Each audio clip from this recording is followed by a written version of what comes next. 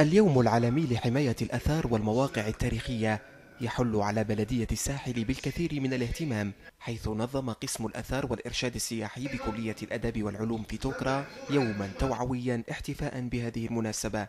اليوم آه، نحتفل باليوم العالمي للمواقع الأثرية على الرغم أن اليوم العالمي هو يوم 18 أبريل لكن التجهيزات آه، ما استطعناش نجهز اليوم العالمي إلى اليوم 24 25 أبريل آه، بمعرض بسيط يتمثل في بعض المعروضات الخاصة بال بعض اللغة الأثرية وخاصة الفخارية من متحف آثار توكرا ومن متحف آثار الميثة اللي نحب نشكرهم على مساهمتهم.